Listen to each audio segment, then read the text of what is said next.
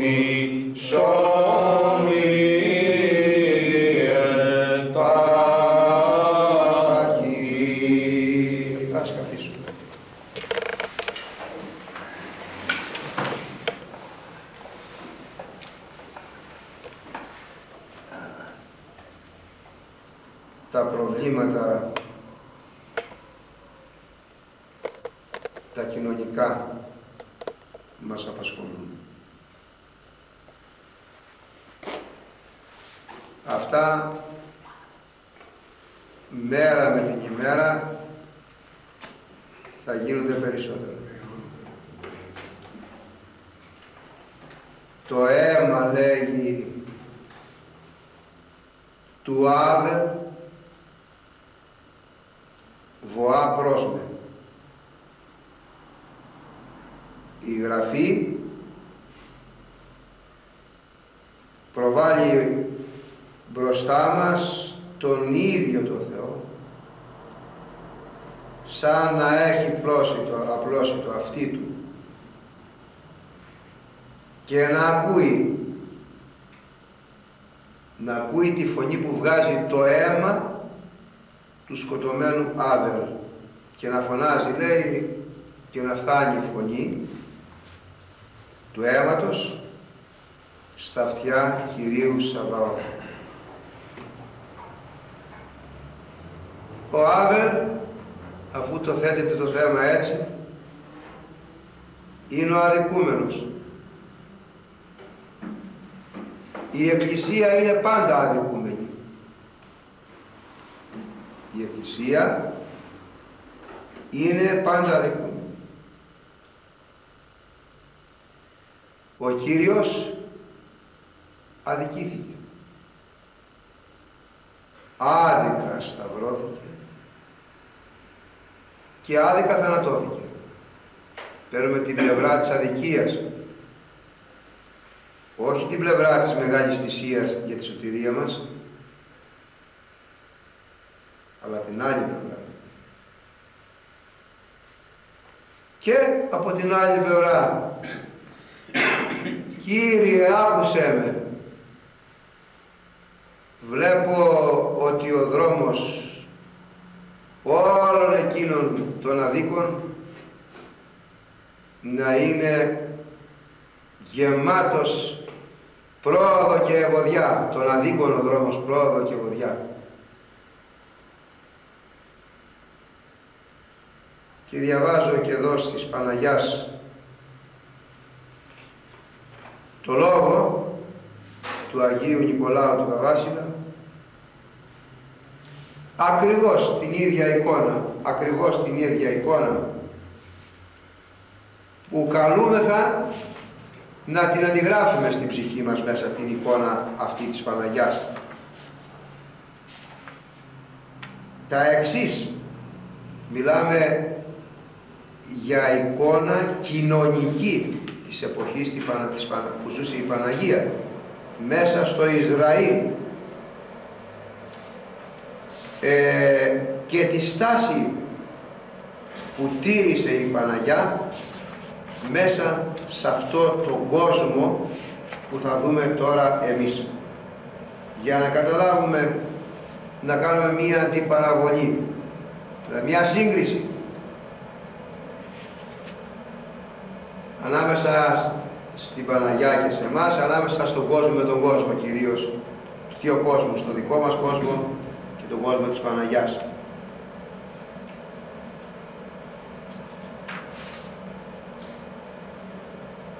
Ούτε καν αισθάνθηκε η Παναγιά την κακία που ξεχύθηκε σε όλη τη γη. Και ο κατακλυσμός της αμαρτίας που ξαπλώθηκε παντού. κατακλυσμός, το όταν λέμε κατακλυσμός, μιλάμε για θεομηνία φοβερή που καταστρέφει ό,τι υπάρχει. Και η αμαρτία στον κατακλυσμό της ξαπλώθηκε παντού. Έκλεισε τον ουρανό και άνοιξε τον άδειο. Η αμαρτία, το κακό. Και έβαλε σε πόλεμο τους ανθρώπους με τον Θεό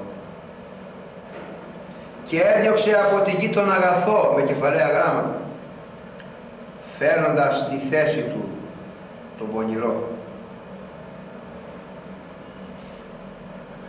όλος αυτός ο κατακλυσμός της αμαρτίας δεν έθιξε ούτε στο παραμικρό τη, Μακα... τη Μακαρία Παρθένο.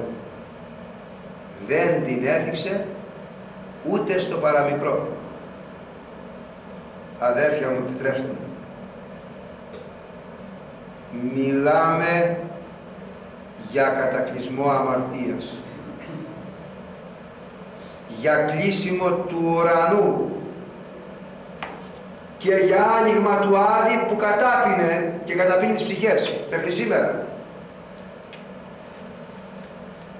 Μπροστά σε αυτή την πραγματικότητα ούτε στο παραμικρό δεν θύχτηκε η ψυχή της Αγίας Παρθένας, της Παναγίας. Αλλά ενώ κυριάρχησε σε ολόκληρη την οικουμένη το κακό και έκανε σεισμό και συντάραξε και γκρέμισε τα πάντα νικήθηκε η αμαρτία μόνο από ένα λογισμό μόνο από μία ψυχή. Ένα λογισμό της Παναγιάς μια ψυχή, η ψυχή της Παναγιάς.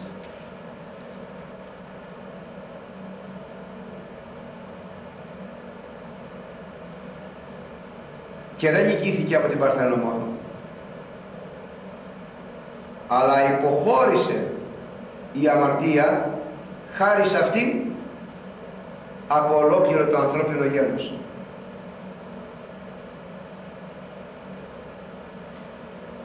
Μιλάμε για φρίκη αμαρτίας στον αμαρτωλό κόσμο. Μιλάει, άμα προσέξαμε, για σεισμό, για γκρέμισμα και μέσα σε αυτό το γαλασμό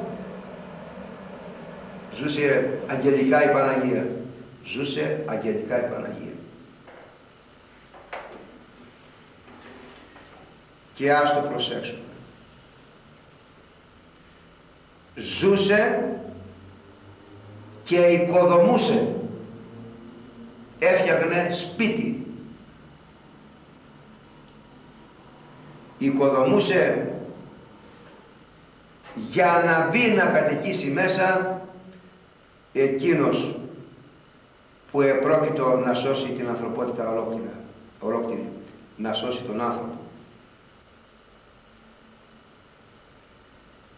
Και όχι μόνο έκτισε κατοικία, αλλά και στόλισε το οίκημα που έκτισε η Παναγία. Άλλο άλλος χτίζει και άλλος στολίζει το σπίτι. Εδώ η Παναγία μας και έκτισε το σπίτι, τον εαυτό της δηλαδή, τον ίδιο, και το στόλισε τον εαυτό της η Παναγία. Έτσι, ώστε να μπορεί ο βασιλιάς που επρόκειτο να μείνει να βρει ανάκτορα ακατηγόρητα, ανάκτορα βασιλικά.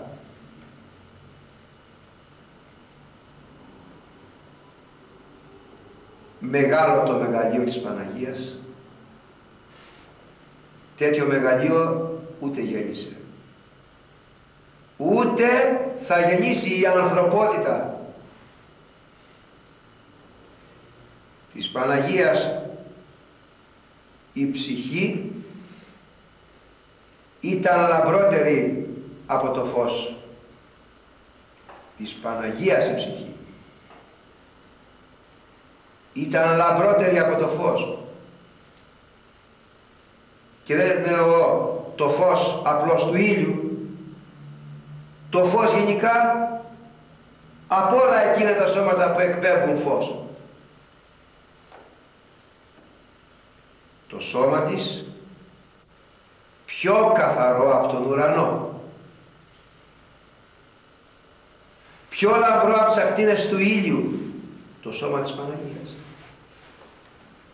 και πιο ιερό από τα Σεραφείμ και τα Χερουβίμ.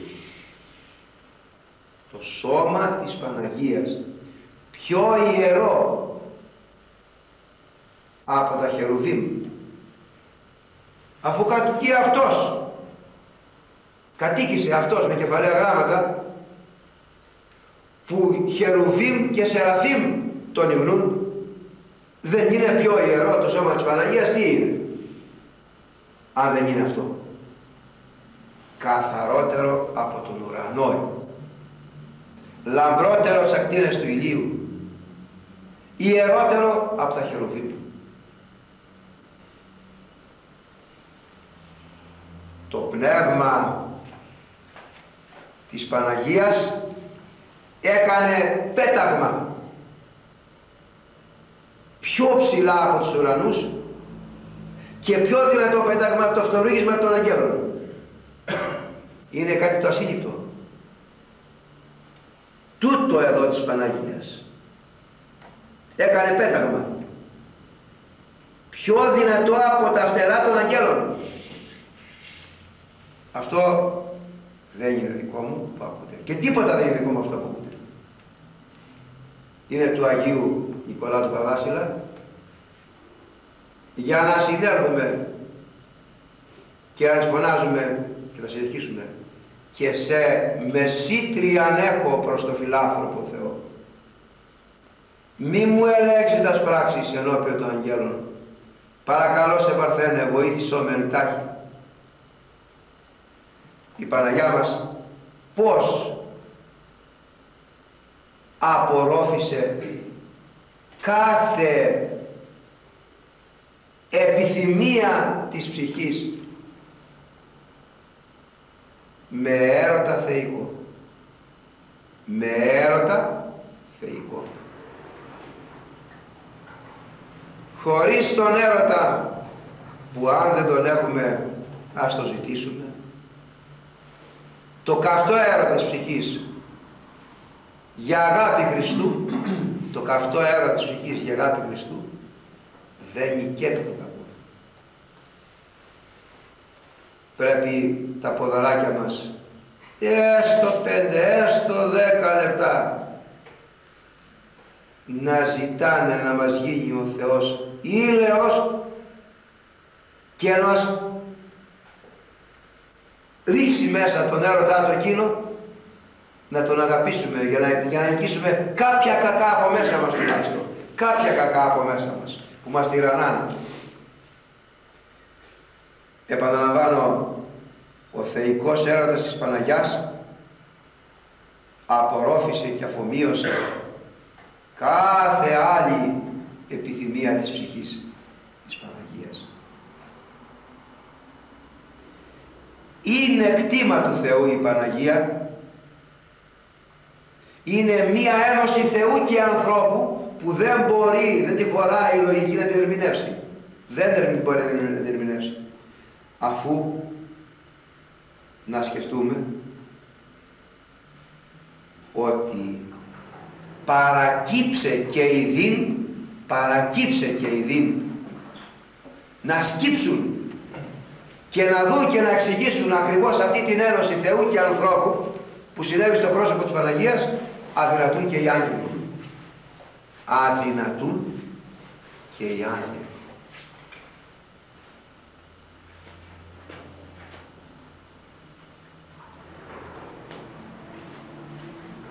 Σώμα λοιπόν εντελώς πνευματικό.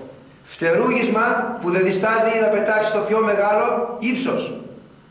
Έρωτας θεϊκός που απορροφάει κάθε άλλη επιθυμία της ψυχής και την μηδενίζει και αγαπάει μόνο και ρωτεύει τον Θεό. Συναντιώδη στην Παναγία. Αλλά μου έκανε εντύπωση μέσα από αυτή την, του Αγίου Νικολάου του Καβάση με την ομιλία το εξής η μεγαλύτερη χαρά της Παναγίας δεν είναι το ότι γέννησε τον Χριστό. Είναι. Μόνο δεν είναι αυτό όμως. Αλλά ότι έβλεπε ότι γινόταν αιτία να δοξαστούμε και εμείς οι άνθρωποι. Και αυτό είναι το, το πιο σημαντικό για την Παναγία και όλους τους Αγίους εάν στη γη που ζουν πρώτη Παναγία και μετά οι Άγιοι, δεν μιλάμε για την Αγία Τριάδα, δεν αγωνιστούν για να μεταδώσουν κυρίως, όχι να λάβουν, αλλά για να μεταδώσουν αυτή τη μεγάλη δόξα του Παραδείσου και στους ανθρώπους, δεν χαίρονται τόσο.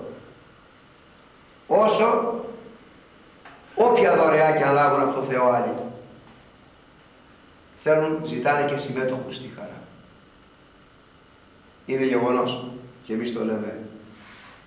Χαρά που μοιράζεται, πολλαπλασιάζεται και αντίστροφα αν πάρουμε για την λύπη μειώνεται αν μοιραστεί μιλάμε τώρα για χαρά, για δόξα, για μεγαλείο, για τιμή, για απόλαυση παραδείσου που έτσι νιώθουν οι Άγιοι να τους πολλαπλασιάζεται εφόσον τη σκορπίζουν κι άλλο. Ανέδειξε χάρη στη δική της ομορφιά η Παναγία ωραία την κοινή ανθρώπινη φύση. Η Παναγία χάρη στη δική της ομορφιά έκανε όμορφους και εμάς. Λέει ο Απόστολος Παύλος σηκώστε τα χέρια ψηλά φωνάχτε στο Θεό και κάντε θυσία πνευματική. Πνευματική θυσία προσευχηθείτε. Θυσία πνευματική είναι προσευχή. Φωνάχτε Του η Παναγιά μας δεν ύψωσε τα χέρια αλλά παράδοσε τον εαυτό της κυριολεκτικά ως θυσία στο Θεό αφού κατοίκησε μέσα της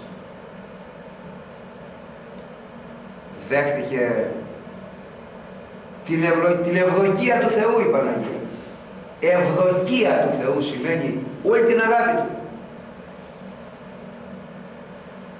Τη σκέπη του Αγίου Πνεύματος. Πνεύμα Άγιον επιλέψετε πίσε σε. Σένα θα έρθει πνεύμα Άγιο. Μου κάνει εντύπωση από το λόγο του Αγίου Νικολάου του Καβάσκα το εξής. Στέκεται και θα το σχολιάσουμε να το δούμε και μαζί έτσι να το καταλάβουμε στον Αγγελιοφόρο τον Αρχάγγελο Γαβρίλ που της μεταφέρει το μήνυμα ότι «Συ θα γεννήσεις τον Υιό του Θεού». Εκεί η Παναγία στέκει με δισταγμό. Μα θα ακούσει η ανθρώπινη φύση και εγώ να θέλω είμαι παρθένα. και μία παρθένα που είναι άπειρη από γάμο δεν είναι το να γεννήσει. Μιλάω σαν να έλεγε στον Αρχάγγελο Γαβριήλ για τους κανόνες της φυσικούς που υπάρχουν, που απαγορεύουν τη γέννα σε παρθενικό σώμα, γυναικείο.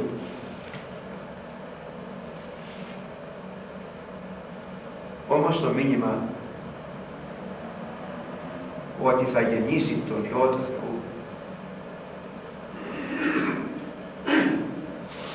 Εάν η Παναγία δεν έλεγε το ναι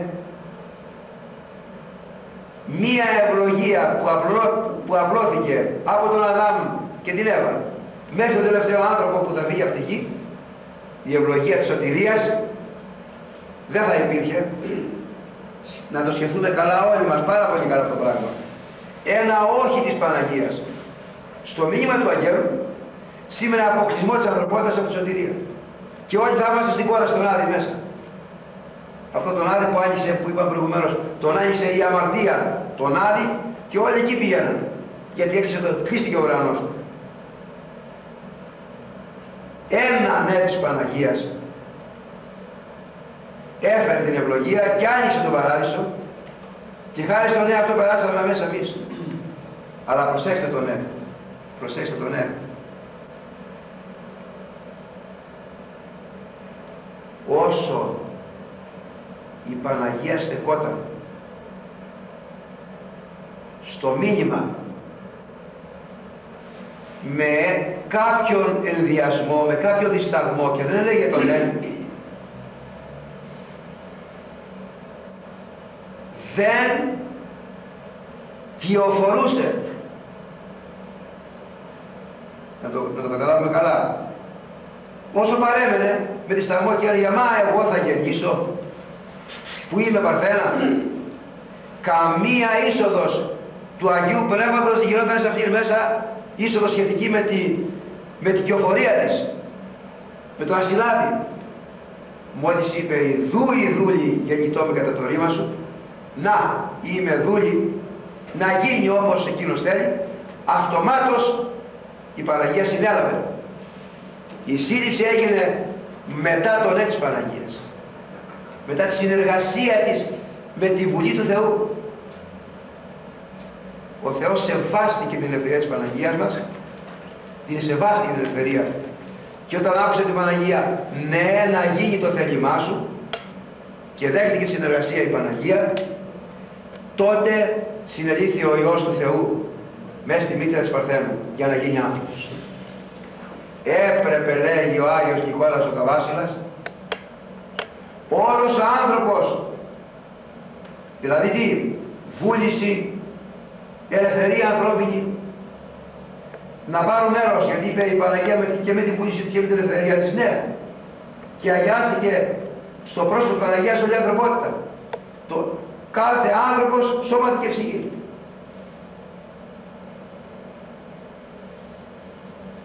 Με την Παναγία μας έγινε μια μεγάλη καταλλαγή. Μια μεγάλη καταλλαγή με την Παναγία μας. Μια μεγάλη καταλλαγή. Καταλλαγή σημαίνει ειρήνευση μέχρι την ώρα εκείνη του μηνύματος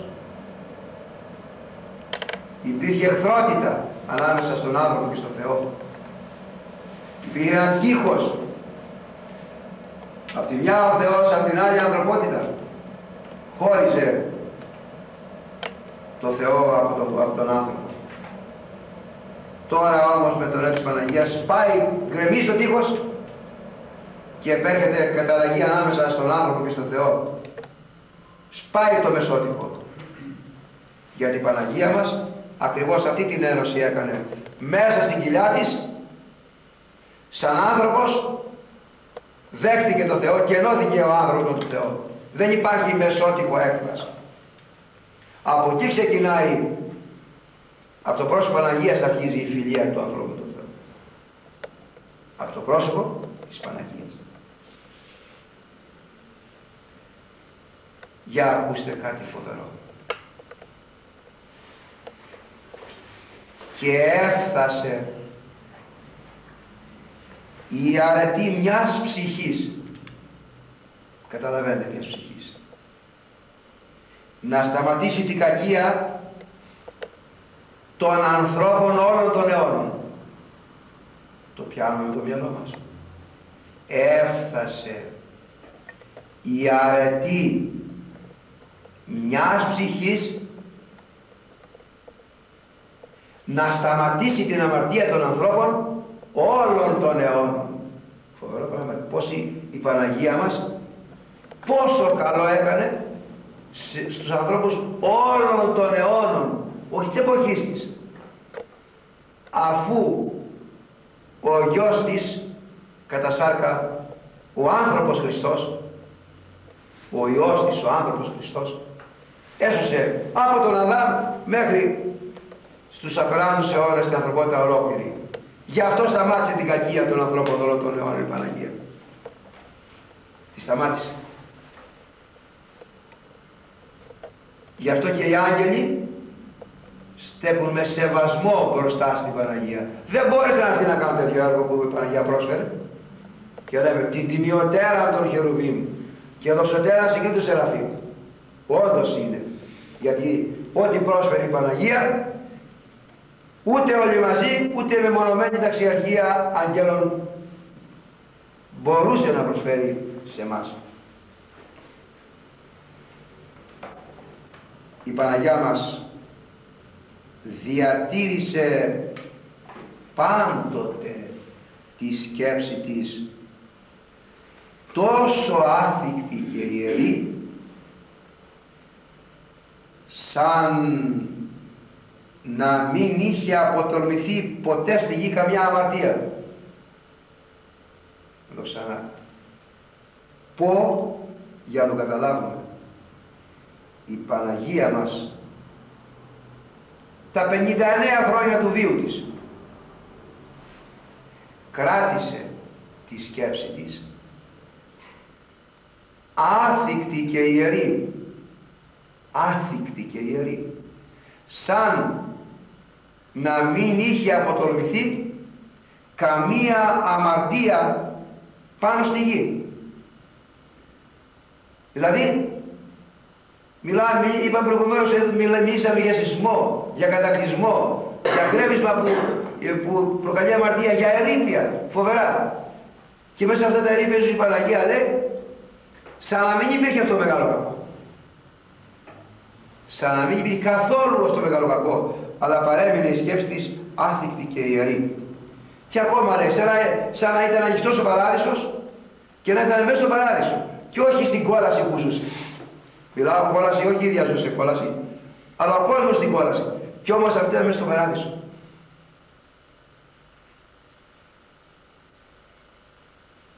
Άγιε Παΐσιο, που ζούσες Άγια και που ο κάποτε είχες πει και είναι γραμμένος στο εκλεκτός του Θεού δεν είναι ο κόσμος που μας εμποδίζει από το καλό. Με τις αμαρτίες του τις πολλές και τις φρικτές. Όχι. Μπορείς να ζεις μες στο πιο αμαρτωλό κόσμο με την πιο αγιασμένη ζωή να η Παναγία του αυτό λέει εδώ πέρα. Δεν είναι ο τόπος αλλά ο τρόπος με τον οποίο ζούμε μες στον κόσμο. Δεν είναι ο τόπος αλλά ο τρόπος με τον οποίο ζούμε στον κόσμο. Περιγραφή. Κόλασε ο κόσμος σε παράδοση ζούσε η Παναγία. Μου λέγει η Γερόντισσα του Αγίου Καβάσιλα λέει την ομιλία στην Παναγία. Διάβασε, θα έχεις πολύ μεγάλη ωφελία να πάρεις. Όντως, κάνουμε, παίρνουμε μία μετάδοση Πνεύματος Αγίου, αφού ιερά γράμματα είναι αυτά. Άγια γράμματα είναι και μάλιστα στη μεσήτια του κόσμου στην Παναγία μας.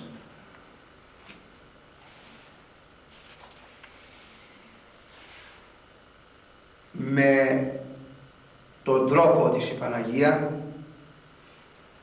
ωφέλησε ολόκληρο το ανθρώπινο γένος. Με τη ζωή της πριν να έρθει ο καιρός να σωθεί με τη γέννηση του Χριστού ο κόσμος η Παναγία τον βοήθησε. Επαναλαμβάνω πριν γεννηθεί ο Χριστός με τον τρόπο της ζωής της η Παναγία βοήθησε για να σωθούμε. Πως βοήθησε για να σωθούμε; Αν δεν ήταν αυτή άξια με τη βιωτή της και με τον τρόπο της ζωής της δεν θα έρχονταν ο Χριστός και επομένως έτσι βοήθησε με τον τρόπο της η Παναγία να έρθει ο Χριστός για να σωθούμε αν η Παρθένος δεν τηρούσε αυτή τη στάση καμιά πια ελπίδα δεν θα πέμενε στους ανθρώπους για να σωθούν.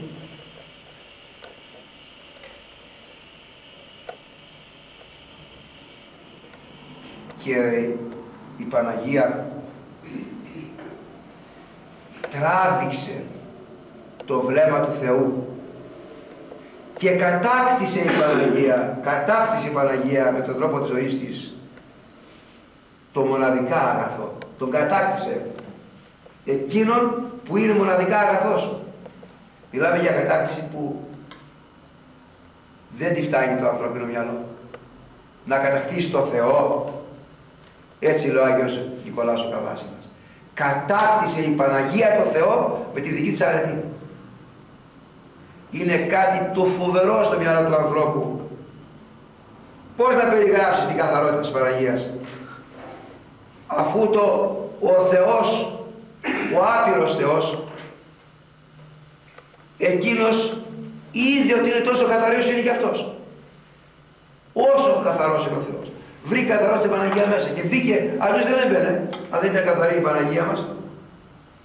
Καθαρός σε ακάθαρτο δεν πάει, καθαρό σε καθαρό πάει. Και όσο καθαρό είναι τόσο καθαρό ζητάει. Σκεφτείτε πόσο καθαρή ήταν η Παναγία. Καθαρότατα. Πάναγνα τα αίματα γιατί αυτός που γεννήθηκε ήταν πάναχμος. Δεν είναι δυνατόν να μην ήταν τα αίματα της Παναγίας πάναγνα. Αφού το Άγιο αίμα του Χριστού του ανθρώπου ήταν Πανάγιο, Πάναγνο, ό,τι θέλετε πέστε Άγιο και Ιερό. Έτσι ήταν η Παναγία μας.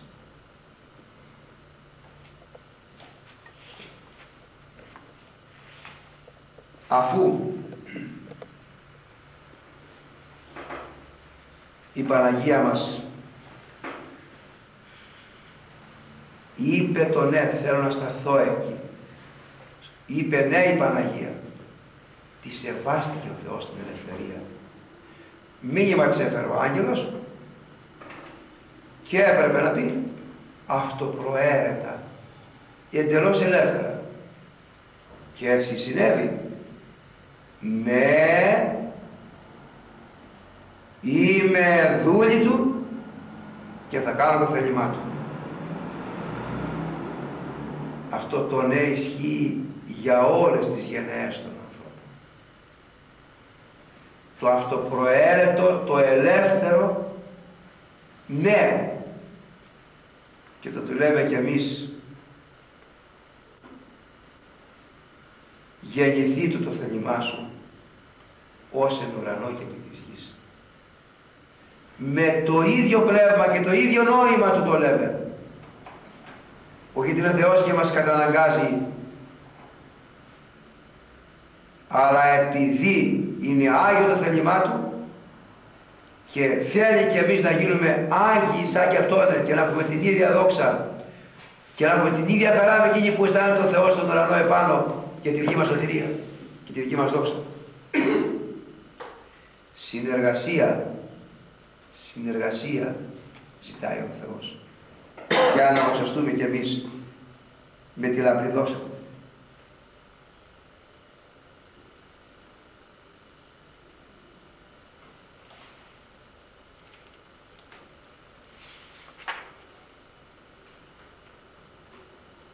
Αυτός είναι ο λόγος για τον οποίο πριν η Παρθένος βάλει τον εαυτό της στην υπηρεσία του θεϊκού μυστηρίου μαθαίνει, πιστεύει, θέλει και εύχεται την πραγματοποίησή του. Μαθαίνει αυτό που λέει ο άγγελος. Το πιστεύει το που λέει ο άγγελος. Θέλει στη συνέχεια να μπει στη διαδικασία να γεννήσει τον Υιό του Θεού και εύχεται να γίνει έργο αυτό που είναι θέλημα Θεού.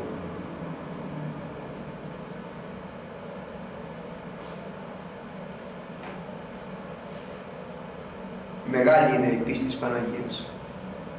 Πολύ μεγάλη. Απερίγραπτη. Της Παναγίας η πίστη απερίγραπτη που θα την περιγράψω. Η βρωμιά η δική μου λαβρετή να περιγράψει της Παναγίας την, την πίστη είναι και αμαρτωλό που το συζητάω και το λέω για τον εαυτό μου. Η Παναγία γνώριζε καλά το μέγεθος της αγαθότητας του Θεού. Το γνώριζε πάρα πολύ καλά πόσο αγαθός είναι ο Θεός και πόση φιλανθρωπία έχει ο Θεός. Πόση φιλανθρωπία έχει ο Θεός. Και μου φαίνεται, λέγει ο Άγιος Γρηγόρης ο Καλακοβάσιλας, ότι χάρη αυτού ακριβώς δεν μοιήθηκε κατά τρόπο άμεσο από τον ίδιο τον Θεό. Πιο απλά σημαίνει για να πει το ναι να γεννήσει τον Χριστό μπορούσε και κατευθείαν ο Χριστός να το αποκαλύψει. Κατευθείαν ο Θεός. Να της πει ξέρεις θα γεννήσεις και να παρουσιαστεί ίδιος ο Θεός. Δεν το έκανε αυτό λέει ο Θεός για να αποκαλυφθεί, για να φανερωθεί με αυτόν τον τρόπο πλήρως ότι η πίστη με την οποία ζούσε κοντά στο Θεό ήταν αυτοπροαίρετη η εκδήλωσή της. Δηλαδή η Παναγία μας αυτοπροαίρετα με τη δική της θέληση είχε πίστη απεριόριστη μεγάλη απέναντι στο Θεό.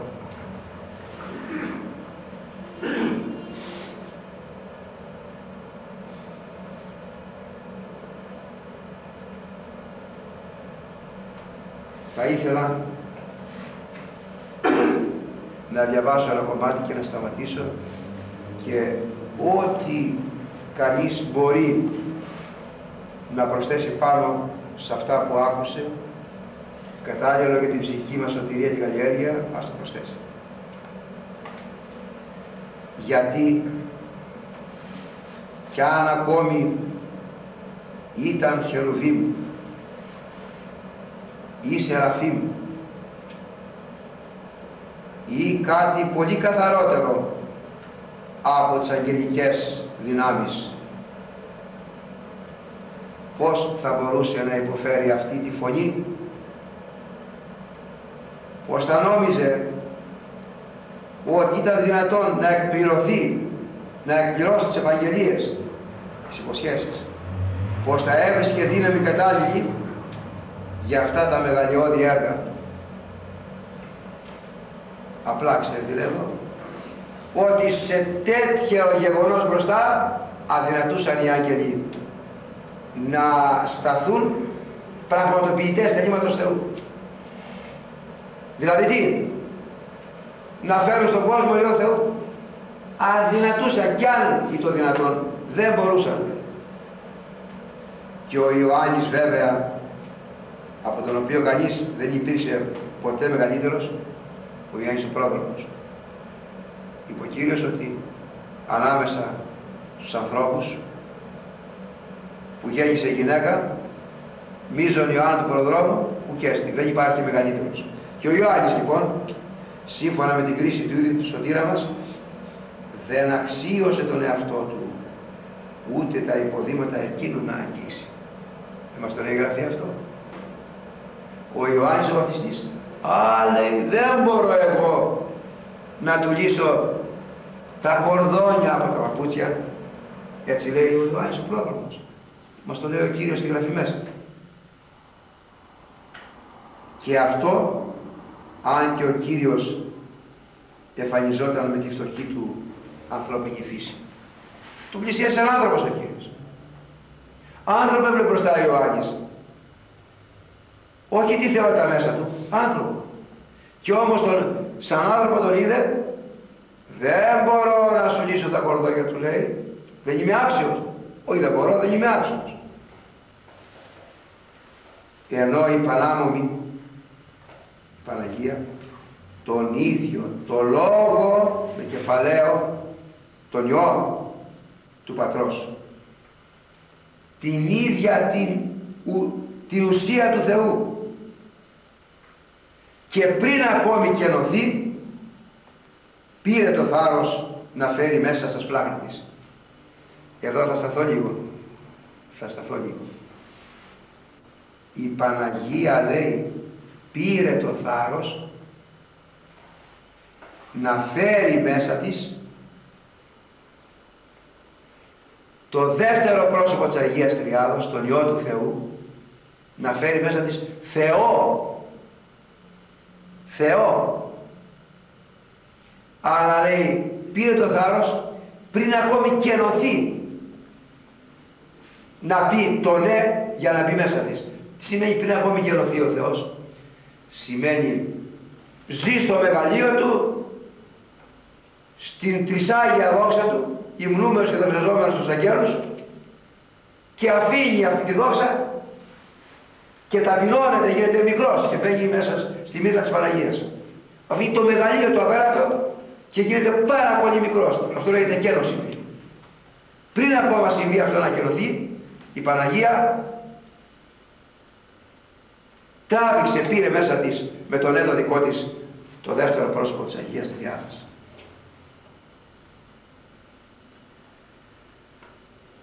αλλά τις ημί εγώ. Και τις ο οίκος του πατρός μου. Σαν να διαβάζω τις ημί εγώ. Και τις ο οίκος του πατρός μου. Και ενεμή Κύριε σώσεις τον Ισραήλ. Ερμηνεύω. Ποια είμαι εγώ; Και ποιο είναι το σπίτι του πατέρα μου. Με εμένα Κύριε θα σώσεις τον Ισραήλ. Και εννοεί όχι για τους Ισραηλίτες. Κατά φύση αλλά κατά πνεύμα όλους τους χριστιανούς. Όλων των εποχών θα σώσεις Κύριε με εμένα.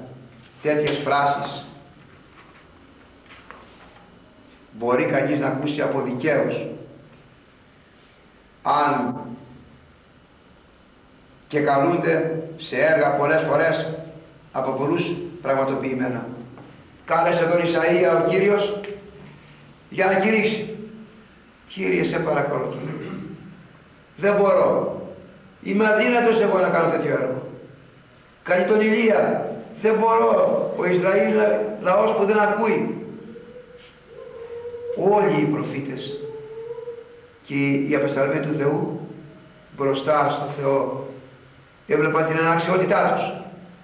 Την έβλεπαν την αναξιότητα. Και έλεγαν είμαι ανάξιος δεν μπορώ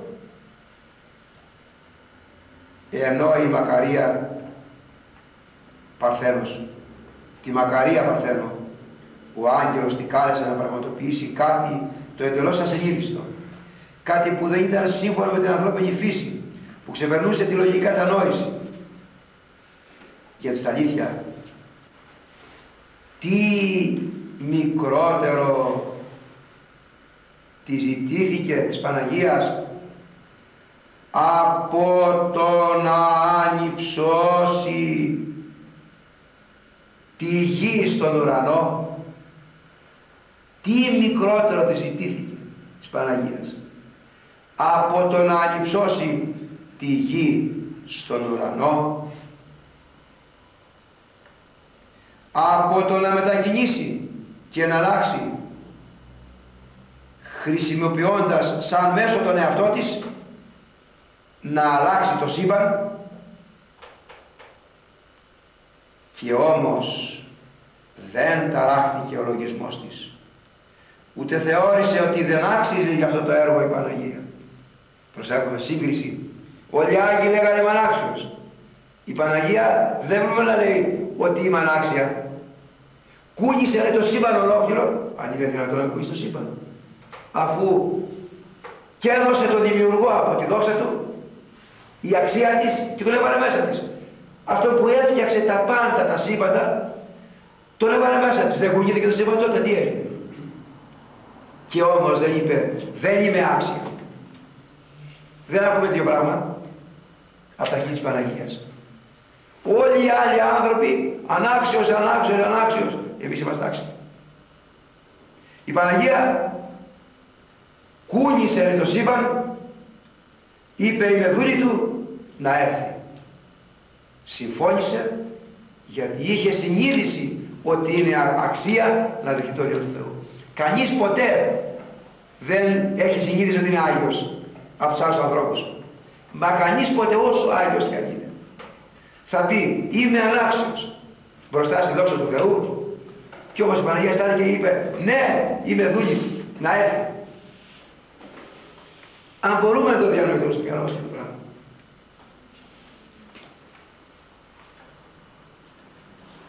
Πέρα, πέρα όμως από αυτά, δεν ενδιαφέρεται καθόλου να ρωτήσει αν είναι η ίδια ικανή και κατάλληλη για ένα τόσο μεγάλο έργο. Αν έχει αγνήσει όσο χρειάζεται το σώμα της και την ψυχή της. Εκπλήσεται για τα θαυμάσια που επέρχονται στη φύση αν το κατανοούμε εκείνο. Αυτό που την κάνει να χαίρεται και να νιώθει έκπληξη είναι το πόσα καλά βλέπει να έρχονται και στην άψυχη και στην έμψυχη φύση τα οποία δεν υπήρχαν πριν έρθει ο Χριστός και μόνο που βλέπει να έρχονται για να δορίζονται στους ανθρώπους να το προσέξουμε αυτό, ε. Λέει, ε, βλέποντας ότι οι άνθρωποι όλοι θα γεμίσουν από δώρα, αυτό την, έ, την έκανε να νιώθει έκπληξη και να χαίρει. Τίποτε άλλο παραπάνω. Γι' αυτό ζήτησε να, την εξήγηση για το πρώτο από τον Γαβριήλ, ενώ το δεύτερο το ήξερε από τον εαυτό της. το θάρρος προς τον Θεό και την παρησία τα έβρισκε πράγματι παρθένο μέσα της αφού δεν είχε την καρδιά την καρδιά της που να την καταδικάζει να βρίσκει τόσο ψεγάδι ώστε καταδικάζει αυτό που την ένιωθε που δεν έκανε να νιώθει έκπληξη χαρά ήταν θα σκορπίσει χαρά σε όλους μας η Παναγία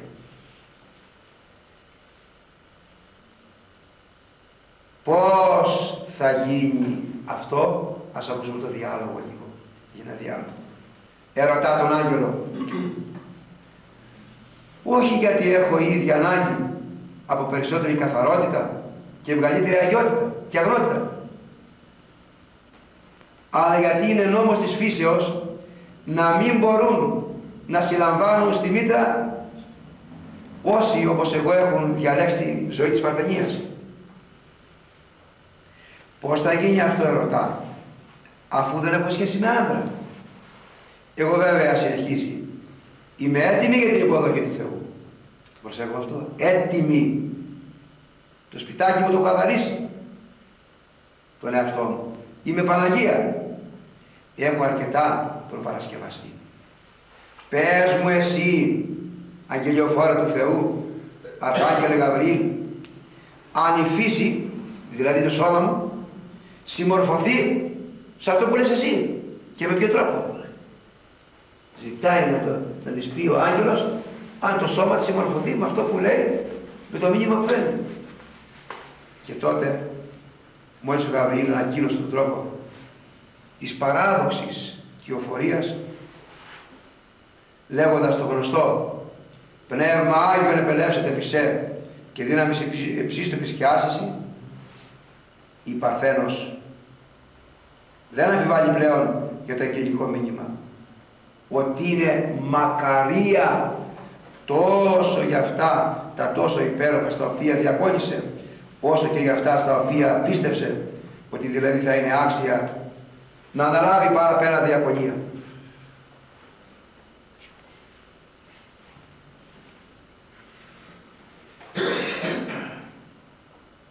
Το πρόσωπο της Παναγιάς μας μας απασχόλησε την περασμένη φορά το πρόσωπο της Παναγίας και τώρα. Ελπίζω το Πνεύμα το Άγιο να μας άνοιξε μία πολύ μικρή χαραμάδα και να πέρασε μέσα μας και να μας έδωσε να καταλάβουμε όταν βλέπουμε την Παναγία τι βλέπουμε μπροστά μας. Μετά την Αγία Τριάδα το αμέσως επόμενο σεβαστό πρόσωπο. Αυτό που το σέβουν άγγελοι, αρχάγγελοι, θρόνοι, κυριώτες, αρχές, εξουσίες, πολιώματα, χερουβίμ και σεραφείμ αυτής να έχουμε τη Μεσήτρια και από τη δόξα της να μας αξιώσει να πάρουμε και μέρος στο Παράδεισο. Πες κάτι Μιχαλάκη τώρα; Είχα πάει πριν τρία χρόνια στο Άγιο Όρος. Επάνω στο θέμα θα μιλήσω. Και ένιωσα πάρα πολύ όμορφα φεύγοντας για να δω πίσω, πηγαίνοντας πάλι στην Ουρανούπολη, μόλις κατέβηκα από το καραβάκι και άκουσα τα πρώτα, τα πρώτα λόγια των ανθρώπων που ήταν εκεί, ένιωσα όλη την κόλαση να έρχεται πάνω μου. Και λέω, γιατί λέω, γιατί λέω, ήμαρτον. Δηλαδή, αυτό που είχα νιώσει μέσα, πήγαινα εκεί στο χώρο αυτό να τον χάσω. Και λέω, γιατί αυτό το πράγμα λέω. Δεν είναι λέω, οι ίδιοι λέω, άνθρωποι αυτοί που ήταν μέσα με αυτούς εδώ. Και στεναχωρήθηκα πάρα πολύ. Γιατί το είπα αυτό. Γιατί ο Θεός τίποτα δεν αφήνει στην τύχη. Στην τύχη τίποτα. Έχουμε Ιωακήμ και Άννη από πολλές προσευχές κάνανε την Παναγία και είπανε ότι το παιδί που θα κάνουν θα και, και το τάξανε μάλιστα να το δώσουν στον ίδιο τον Θεό και να το αφιερώσουν. Και πράγματι όταν πήγε τέσσερο χρονών το πήγανε στο ναό του Σολομών. Για να μην υπάρχει η Παναγία αυτό που έπαθα και εγώ και μολυθεί στον κόσμο έξω τη βαστίξανε μέσα στο ναό, ετοιμάστηκε και το δοχείο της, το σώμα της και το πνεύμα της και η καρδιά της και γενικά όλη η Παναγία έγινε ένα καθαρότατο δοχείο που ο Κύριος με την πρόνοιά του ετοίμαζε. Πλην αυτό έμαθε και τον νόμο του Θεού, την Παλαιά Διαθήκη. Και όταν ήρθε άγγελος ήξερε γιατί μίλησε ο άγγελος; Επειδή πήγε μικρό παιδάκι μέσα και ήταν αγνό, ο Κύριος λέει μακάρι η καθαρή την καρδία και η Παναγία πήγε πολύ μικρή μέσα και ήταν ολοκάθαρη. Και ήρθε ο Κύριος και τη σήκωσε, την έκανε έτσι, γι' αυτό είναι η μοναδική γυναίκα στον κόσμο που χαίρει και λέμε στους χαιρετισμού χαίρε νύφη ανήφεται. Δηλαδή καμία γυναίκα δεν χαίρει σαν την Παναγία. Ε, άραγε η σωτηρία των ανθρώπων ήταν γιατί ήταν στο σχέδιο του Θεού η Παναγία να ετοιμαστεί. Και λέω τώρα εγώ και κλείνω με μία λέξη. Εμείς αν θέλουμε να ετοιμαστούμε, όχι αν θέλουμε, το λέω ε, έτσι, το λέω έτσι γιατί άλλος μπορεί να πει να μην, εγώ δεν θέλω να Εγώ έτσι. Ναι. ε, πρέπει να κάνουμε αυτό που έκανε και ε, η Παναγία μας. Να μείνει μέσα στο ναό, να είμαστε μέσα στο ναό, μα πώς γίνεται αυτό, γίνεται. Μπορεί να είμαστε στη δουλειά, να είμαστε σε χώρους πολλούς, το πνεύμα μας να είναι μέσα στο ναό και τα λόγια του Θεού να έχουμε πάντοτε μέσα μας και να τα αναμασάμε. Τότε θα έχουμε τον ίδιο το Θεό μπροστά μας, μέσα μας και οδηγό μας. Γιατί λέει ο Κύριος στον Απόστολο Θωμά, μακάρι οι μη ειδώντες. Άρα ο Λόγος του Θεού είναι η ίδια η ζωή που είχε και η Παναγία μας μέσα στο εργαστήρι της Εκκλησίας του Ναού του και του Ναού του Σολομόντου. Αυτό ήθελα, ήθελα να πω. Θέλω κάτι να προσθέσω αυτά που είπες. Εάν έπιασε καλά τα αυτή μου, ότι η Παναγία ήξερε ότι δεν σε το μήνυμα είπες. Ήξερε. Ότι, ότι ο Θεός την ετοίμαζε για αυτό το πράγμα. Η Παναγία δεν ήξερε. Έτσι. Ήξερε ο Θεός, η χρόνια του Θεού. Εντάξει, εντάξει. Η Παναγία δεν ήξερε. Γι' αυτό και έχουμε και το λόγο, μα πώς είναι δυνατό και λυπούμαστε. Ναι. Ε, ξέφερε το μήνυμα ο Άγγελος, άλλος αδερφός κάποιος. Θα ήθελα μια διευκρίνηση από τον Μιχάλη. Ναι. Μας είπε ότι φεύγοντας από το Άγιον Όρος, αισθάνθηκε μια στεναχώρια, μια απαγοήτευση. Από ποιο λόγο την αισθάνθηκε έτσι. Από τον δρόμο, από τον κόσμο που ήταν γυμνός, που ήταν στην κόλαση, του τρόπο της ζωής που ζούσε. Έξω, έξω Ναι, το μοναστήρι. έξω το μοναστήρι. Μόλις άκουσα τα πρώτα λόγια. Έξω. Ναι, ναι, άκουσα. Ευχαριστώ πολύ. Γι' αυτό. Άλλος αδερφός κάτι, να μην σας κουράζω άλλο. Αν και είναι ακριβώς μία ώρα τώρα. Θέλεις κάτι να πεις, ε, λέω στο. Ε, Παναγιώτη, Παναγιώτη. όχι, το μυαλό μου ήταν κεφάλαιο, συγγνώμη. πού ήταν; Το μυαλό μου. Να σου πω την αλήθεια, ήταν στο μαγαζί μου τώρα που έπρεπε να είμαι εκεί εγώ. Πήγαινε. Να είστε καλά. Να πας εσύ, μην κάνεις; Λοιπόν, Να πας σας να ευχαριστώ. κάνεις. Εμείς ευχαριστούμε πάρα πολύ. Στέλιο. Ευχαριστούμε πάρα πολύ. Να μην κάτσεις αφού έχεις τη δουλειά σου. Εγώ κύριε Αδάμ έτσι θα πούμε στο αυτό. Εάν η Παναγία έλεγε το όχι, θα είμαστε όλοι στο φούρκο τώρα. Ναι. Και αυτό είναι ένα παράδειγμα τώρα. Ο Αβραάμ όταν του είπε ο Θεός να θυσιάσει το παιδί του, για να έφερε αντίρρηση. Ο Αβραάμ τι θα γινόταν. Κάθισε να μας δώσει να καταλάβουμε. Εάν έφερε αντίρρηση ο Αβραάμ θα γινόταν. Ότι δεν θυσιάζει το παιδί μου, το μοναχογιό. Αυτό είναι μια υπόθεση που κάνεις. Ε, μια υπόθεση έτσι. Δεν είναι, Μια υπόθεση δεν είναι που μέσα στο θέμα, Στην αλλά γραφή οι υποθέσεις δεν πιάνουν.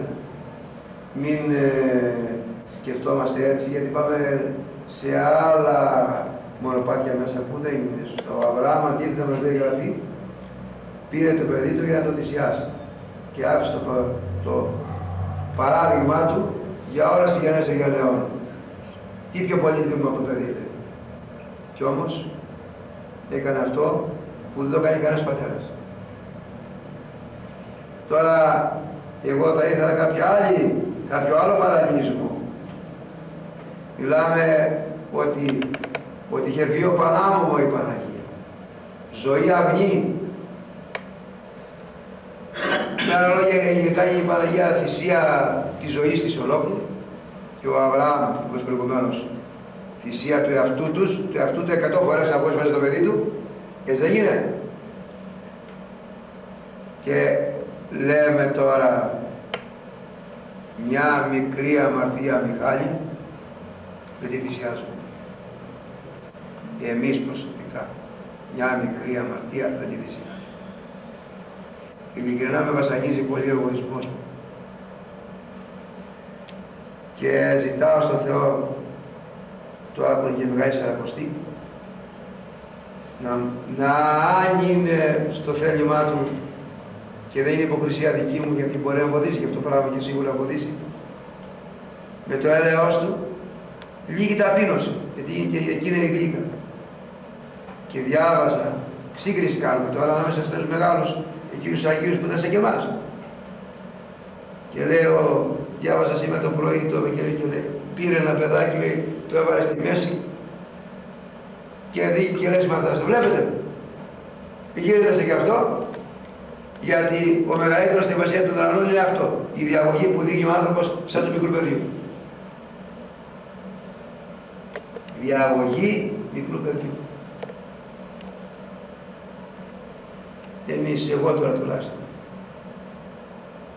Είμαι εγώ, ξέρω γράμμα. Είμαι εγώ, γιατί είμαι ο Κώστας και του καθεξής. Και έλεος και με συντήρια την Παναγία να βάλουμε. Έλεος του Θεός για μας ελεήσει. Δεν μπορώ να πω τίποτα άλλο παραπάνω. Να απολυθούμε λίγο. Άγιος ο Θεός, Άγιος Ισχυρός, Άγιος ο Θάνατος, ελέησος μας. Άγιος ο Θεός, Άγιος Ισχυρός, Άγιος ο Θάνατος, ελέησος μας. Άγιος ο Θεός, Άγιος Ισχυρός, Άγιος ο Θάνατος, ελέησος μας. Πάτε λοιπόν, του Ιησού εμείς, αγιασύνει το όνομα σου, ελεύθερη η βασιλεία σου, και η δίκη του Θεού σου, όσοι στο ουρανό και της γης, τον άγνο ημών του Θεού σου, δώσει εμείς σήμερα, και άφηση είναι το παιδί του Θεού, όσο και εμείς αφήρουμε της οφειλέτης και μη σε ενέργηση μας πειρασμόν, αλλά ρίση μας. Διευχών των Αγίων Πατέρων ημών, Κύριε Ιησού Χριστέ, ελέησον και σώσον. Μήπως, αμήν, κάποιος αδερφός λέει για την ώρα να πάει μισή ώρα αργότερα. Σκεφτείτε και πέστε μου